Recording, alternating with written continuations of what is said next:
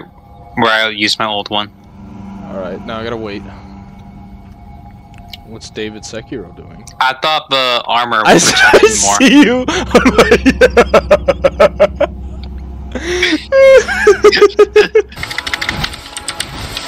What if we just left and didn't get invaded? I think that would increase our chance of getting invaded. Where are you going?